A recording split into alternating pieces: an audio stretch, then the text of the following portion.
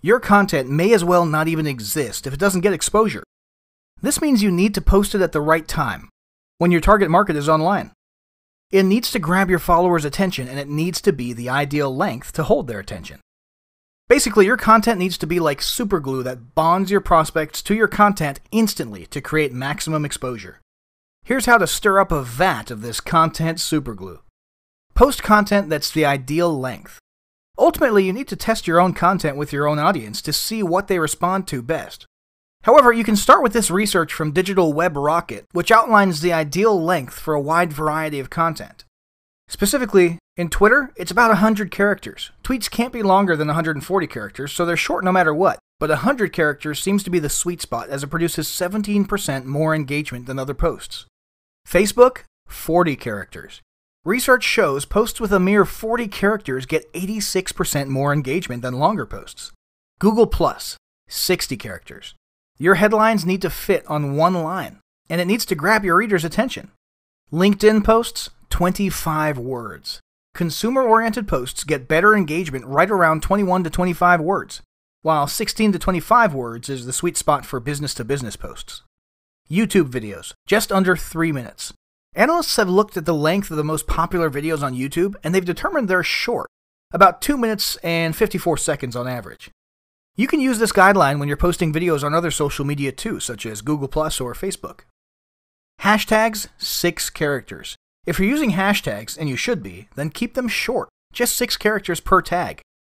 You can see a pattern here. Keep it short. People's attention spans are short, and when they're accessing content from their mobile phones, they're more likely to engage if they don't need to do a lot of scrolling. That's why you'll want to hone your copywriting skills so that every word counts.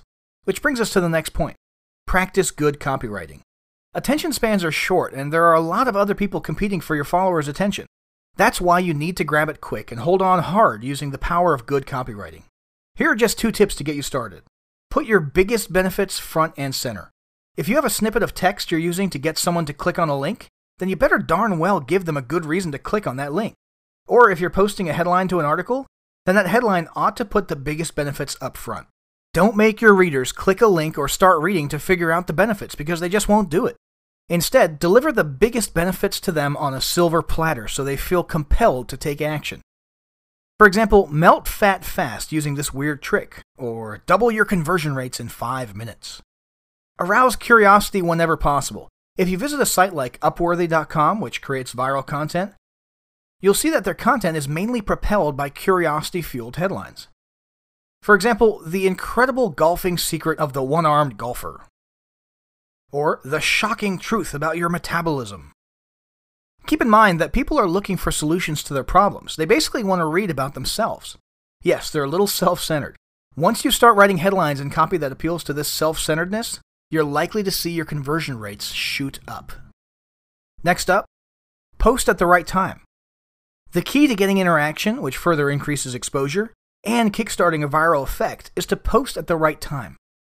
What you need to do is figure out when your audience is most likely to be online and able to interact, and then post accordingly. Now, you've probably seen some of the studies others have conducted to figure out the best time to post. For example, BuzzSumo.com analyzed 500 million blog posts published on Facebook and found that the best results were achieved between 10 a.m. and 1 p.m. Eastern on Tuesdays and Wednesdays. Those that went viral were usually posted on Tuesdays. So, does this mean you'll be golden if you post at about 10 a.m. Eastern Time on Tuesday? Maybe, maybe not. It all depends on your audience. For example, if you're targeting those from the land down under, you know, Australia and New Zealand, then they're probably sleeping at that time, or partying hard and dancing on a table with a lampshade on their head. But either way, they're not on social media. So, unless you plan on doing some sort of electronic osmosis for those who sleep with their phones under their pillows, posting at that time wouldn't be a good idea. So, what you need to really do is think about your audience, figure out when they'll be online, and then start testing different times for yourself. Yes, you can toss a Tuesday at 10 a.m. post into the mix as well, but be sure to test other days and times too. Consider these factors. According to IDC.com research, the vast majority of young people, teens to 20s, check their phone as soon as they get up in the morning. They also check it regularly all through the day, though they may not always have time to engage. Many people with smartphones report looking at their phones while they're watching TV, which is typically done in the evening. People who have children are probably rushing in the morning between the time they get up and the time they arrive at work. The exception? those who use public transport, as they'll have downtime on the train or bus to check their phones. Some people do have some downtime soon after they arrive at work. They arrive a few minutes early and then do a little online browsing before starting their tasks for the day. Some people may have more free time to engage on weekend mornings, but that depends on your audience, as some people use their weekend mornings for family time, hobbies, exercise, and so on. Some people even choose to go dark on the weekend, meaning they unplug from social media. Take these factors into consideration. Think about your own audience and start testing times and dates. Here's a quick tip start tracking when your audience starts following your social media pages or even engages on your website, such as commenting on your blog posts or joining your newsletter. If you see definite patterns as to when the vast majority of your audience is online, these are good days and times to test your social media postings. Once you've determined the best time to post for your audience, then you can develop a regular publishing schedule to post your best content on those specific days and times.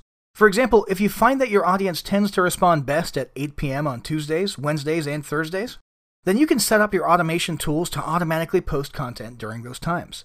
Naturally, you can post content at other times as well, but you'll want to save your best content, or the content you want to go viral, for the times when your audience has time to engage. Next, post popular content. Spend a few minutes browsing popular social media pages, and you'll quickly notice that certain types of content seem to get more shares and interaction than other types of content. Specifically, images are shared more than text, and videos are shared more than images. For example, post a really good tip or a quote in text form, and you'll get a low to moderate amount of engagement. Now, make this tip or quote into a graphic and watch engagement shoot up for the exact same content. Try it for yourself, you won't believe the difference. Tip Sometimes people don't hit the share button to share an image. Instead, they save it to their hard drives and then share it on other platforms and locations. That's why it's very important for you to brand every image you create, which includes putting your URL on the image. So that's how you maximize exposure by grabbing attention and engaging your audience. Now let's look at the last goal, which is to maximize results. When people like your posts, that's cool, but these likes don't create a viral storm, and likes don't pay the mortgage bill. So ultimately, your goal is to get your followers to take some specific action. Depending on what type of content you're posting and the purpose of this content, your goal action might be sharing your posts so it goes viral, clicking on a link, picking up the phone to call you, purchasing a product, joining your newsletter list, requesting information from you, following you on a different social media channel. Those are just a few of the top examples. You may have other ideas of what you want your followers to do. Before you post a piece of content, you need to decide its purpose. Generally, each piece of content should have one primary purpose. Everything about the content should be geared towards achieving this purpose. Now, we talked about some of these possible goals at the beginning of this course, such as increasing brand awareness, driving traffic, boosting conversions, generating sales, raising awareness about a related social issue, and so much more. These aren't just goals for your entire social media strategy. They're also goals for each piece of content you create. Point is, if you don't have a goal in mind when you post a piece of content, then you need to ask yourself why you're even posting it. Now, here's the key to getting people to take action you need to post a call to action. This is where you specifically tell people what you want them to do next. For example, click here now to claim your free report. Or like this if you agree. Give your friends a smile by sharing this with them right now. Activate your coupon by clicking here. And here's something important to keep in mind merely telling people what to do like click here, isn't going to create a whole flurry of action. In most cases, it helps to give people a good reason to take the action you're suggesting. If you can stir up a sense of urgency, that's even better. For example, click here to get your free report, but hurry, this offer ends soon. So here's a quick recap. You just learned about the three parts of increasing your ROI maximizing your content strategy, maximizing your exposure, and maximizing your results. These aren't steps to take in isolation. Instead, use them together to create the best return on your investment of time and or money. And then use the tips in the next section to really set your social media strategy on fire.